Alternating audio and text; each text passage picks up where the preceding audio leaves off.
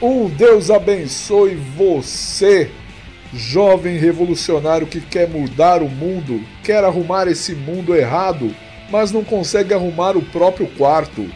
Um Deus abençoe você, jovem punk de Cristo que caiu aqui no podcast do Cristo Suburbano. Aqui quem fala é o seu Rose Eduardo Teixeira e hoje eu estou a entrevistar o Luiz Medeiros. Isso mesmo, o Luiz da banda Living Fire. Eu já falei com ele em outro podcast que eu vou repostar aqui, mas eu vi uma certa urgência de postar um podcast novo, por quê? Porque o cara acabou de gravar um CD bacana, que é o The Flame Still Burns.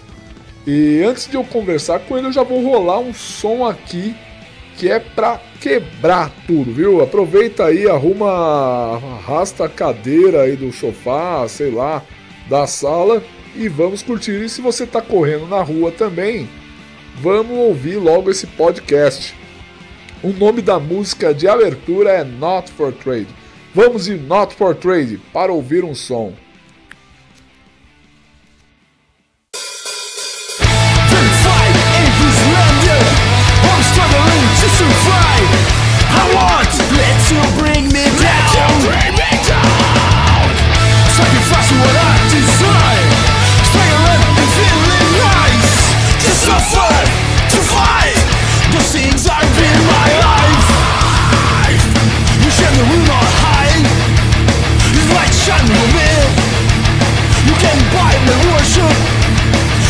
and not for dream My face is blood with flesh and blood. But against the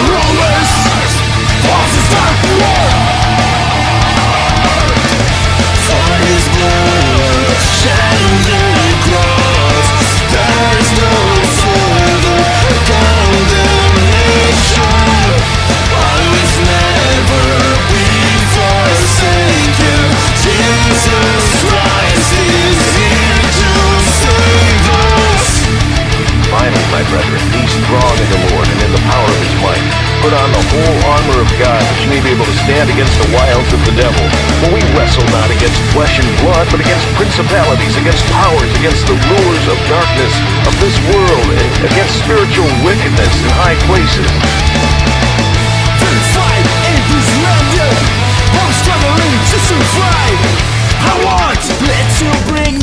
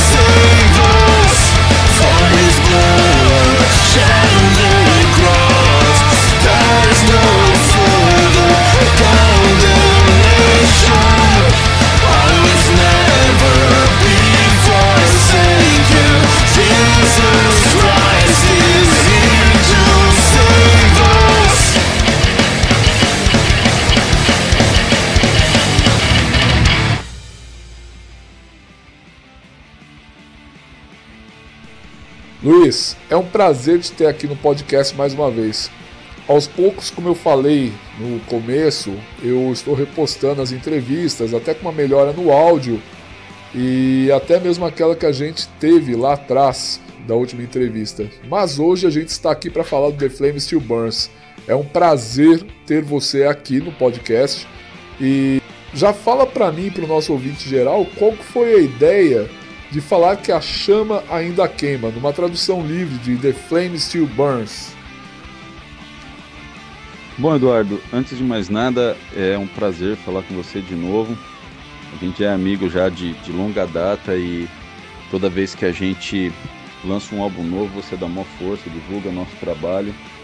E a gente não é amigo só por isso, né? A gente tem outros interesses comuns, tanto teológicos quanto musicais, né? Uh, e a ideia do nome do álbum veio porque o Living Fire no, no, ano passado e nesse ano também a gente recusou diversos shows, né? Porque o Living Fire sempre foi uma banda mais preocupada com a família do que propriamente com a cena musical. A gente não se importa muito em, em fazer uma infinidade de shows por ano, a gente faz aí dois, três, cinco no máximo. E no ano passado e esse ano aconteceram muitas coisas relacionadas às nossas famílias que requereram mais atenção do que propriamente a banda. Então algumas pessoas aí começaram a levantar a hipótese de que o Living Fire tinha acabado, de que, enfim, a banda não ia lançar mais nada. E eu falei, não, a chama ainda está viva. Né? A chama ainda está queimando e a gente ainda tem uma, tem uma longa caminhada pela frente aí, cara. Eu quero no mínimo, no mínimo 10 anos de carreira para a gente começar a esquentar. Bacana, eu percebi que a banda ela deu uma mudança muito brusca no estilo. Tem hardcore, tem metal, tem até uma levada meio no metal. Os metalheads da banda que influenciaram a, a banda dessa vez, tô ligado que você tem aí uns headbangers na banda. E o que levou essa mudança de uma forma brusca mesmo. Até mesmo porque é interessante, o trabalho ele tá diferente mesmo. Olha, uma vez a gente estava conversando e você mesmo me disse que o brasileiro é um povo muito criativo, que fica difícil rotular uma banda brasileira. E eu acho que é mais ou menos por aí. Se você pegar, a gente tem aí cinco álbuns lançados e são cinco álbuns completamente diferentes uns dos outros. Então a gente quis fazer um, um, uma outra coisa diferente daquilo que a gente já tinha feito até agora. É, teve muita influência de, de metal, porque a maioria dos moleques que toca comigo gosta de metal, toca metal. Né? E, e Rodox também, cara, não tem como a gente não falar de Rodox, que o Rodox não é uma influência para a banda. E lá, quando o Rodolfo lançou o primeiro álbum, cara, ele misturou hardcore, misturou metal, misturou rap nas músicas, né? Me fez uns scratches lá. Se você reparar, tem duas músicas nossas aí que tem scratch, fui eu que fiz os scratches das músicas, né? Porque eu gosto muito de rap também. Então, isso acabou de certa forma a gente colocando nossas influências, tudo aquilo que a gente gosta de escutar para fazer esse álbum que acabou sendo diferente dos outros, né? E talvez o próximo seja completamente diferente desse aí que a gente está lançando agora. Pode crer, muito maneiro isso aí, hein? E bom, a gente já conversou bastante. O podcast ele não é só de entrevista, ele é de música. Pede aí a próxima música. Bom, a gente, já que a gente está falando em influência de rap, de scratch, acho que o próximo som para tocar aí é Sem Meias Verdades. Vamos ouvir aí. Então aumenta o volume, dá um tapa no som, galera. Sem meias verdades. Aumenta o volume, taca-lhe pau e vamos de música. Cara, sem meias verdades, a gente ouviu aqui tudo. Realmente ela tem uma pegada muito rap. É, fala pra nós, pra mim e pro ouvinte, qual que é a influência do rap na sua vida? Cara, eu gosto muito de rap, eu sempre escutei muito de rap. E eu ouso a dizer que o rap cristão é muito bom, cara. Eu, é muito bom, melhor que, que muita porcaria que você tem aí é, no meio secular, né? Eu gosto muito de, de Lecrae, eu gosto muito de T-Bone, Nails and Chains, existe uma infinidade de, de artistas é, que fazem rap americano, são muito bons, a cena de rap brasileira também é animal, cara. Tem muita banda sensacional. Tem uma, tem uma banda do Rio de Janeiro que faz rap, chama Estratagema de Deus. É, eu sou muito fã dos caras, é só porrada na orelha que os caras fazem. É, profecia em cima de profecia, no sentido bíblico, né? Do que a gente pode falar sobre profecia. E eu tentei colocar isso nas 100 meias verdades, né? Que é uma música é, que fala da profecia bíblica, que é aquela coisa de você, não aquela coisa de você tentar adivinhar o futuro, como algumas tendências de, de profecia e de neopentecostalismo tentam fazer. Né? A, profecia bíblica ela aponta o erro, né? ela aponta aquilo que está errado, né? E, mas assim, com o coração contrito, querendo a restauração. Não vai apontar, ah, você está errado, pecador, você vai para o inferno. Não, a profecia bíblica, ela mostra aquilo que ela está errado com o coração contrito e clamando pela restauração daquilo que está errado. Então foi isso que eu tentei fazer na letra dessa música. Né? Eu tentei mostrar aquilo que, que usualmente se faz dentro do meio cristão e que está errado do ponto de vista bíblico, do ponto de vista teológico, mas não no sentido de apontar o erro e acusar, mas no sentido de chamar a responsabilidade para trazer restauração, né, cara? Tanto é que no final da música eu falo que quem traz a profecia vem com lágrimas nos olhos para trazer restauração. Né? A gente não, não aponta o erro, mas clama o perdão. E é isso que, é, que a música quis falar, né? É uma letra forte, é uma letra que, de, de impacto, assim, mas a intenção é justamente essa, né?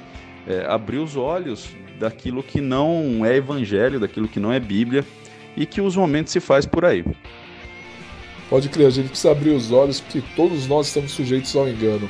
Você disse que esse atual disco teve uma influência do Rodox, é claro. O disco anterior ele teve uma influência muito forte do Blink-182, se eu não me engano, acho que Void é a banda, não me recordo o nome no momento. Para compor esse disco, além da já influência citada, qual foram as bandas, as demais bandas que influenciaram esse disco? The Flame Still Burns. Bom, no, no álbum anterior teve muita influência de Blink, teve muita influência de Volbeat também, né, que são duas bandas que eu gosto muito. E para esse álbum, cara, a gente escutou muito hardcore nova-iorquino, né? A gente escutou Agnostic Front, Madball, Hatebreed e essa pegada de, de som aí. Rodox, cara, é influência, meu, mora assim, não tem como. Rodox ele fez dois discos atemporais. Você escutava no começo dos anos 2000, você escuta agora, é a mesma coisa. A música é atual, né? A gente tentou ouvir muito isso para poder compor o álbum. Basicamente, basicamente esse tipo de som. Michel também me fez escutar um pouco de, de POD e algumas outras bandas aí para escrever as linhas mais melódicas do álbum, né? E a gente acabou fazendo essa salada aí que até agora tem tido bons bons bons comentários a respeito. Caramba, Luiz, muito legal, hein, cara? Muito show de bola isso aí. Luiz, o podcast ele é curto. Despedidas finais, mensagens finais e chama a música que nós vamos encerrar esse podcast. Uh, bom, para finalizar então, queria te agradecer mais uma vez pela oportunidade de estar aqui divulgando o trabalho do Living Fire. Uh, a chama ainda está tá viva, está queimando vai vir mais coisa pela frente. Talvez a gente no próximo álbum, como eu falei, mude de novo completamente o, o, fio da meada do que a gente está fazendo agora. E, cara, eu não, se eu posso deixar alguma mensagem para quem está ouvindo a gente aí, é use protetor solar quando você sair no sol e procure ler a Bíblia, estudar a sua Bíblia e toda vez que você ouvir alguma coisa, vai lá conferir para ver se bate com aquilo que está escrito, absorve aquilo que é bom e rejeita aquilo que é ruim. Eu, eu acho que um, um, bom cristão ele tem que ser uma pessoa crítica, mas não no sentido de apontar, mas no sentido de tentar absorver aquilo que é, é real e útil ao evangelho e deixar de lado aquilo que é baboseira. Né? Obrigado mais uma vez. E eu acho que, que para finalizar, Vamos tocar uma das, das letras que eu, que eu mais gosto, a música em português, que chama 7 vezes 70 vezes 7. Tá bom? Valeu mais uma vez, Eduardo. Obrigadão. Um abraço para quem está escutando a gente aí. Obrigado mesmo, Luiz, pela presença aqui no podcast. E vamos lá, gente. 7 vezes 70 vezes 7. Vamos de música. Aumenta o volume, taca-lhe pau.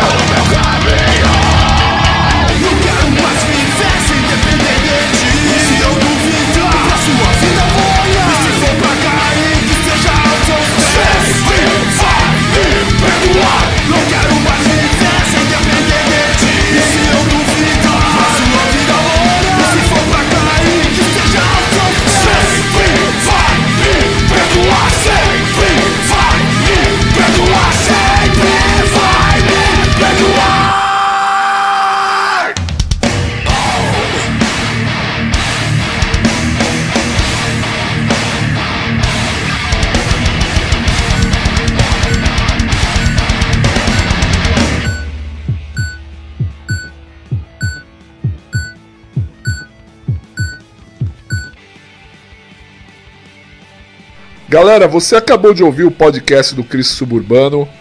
Não deixe de se subscrever no canal. Não deixe de compartilhar esse podcast.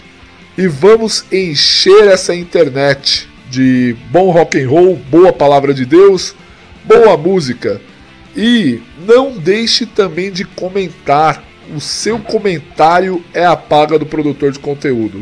Deus abençoe cada um de vocês.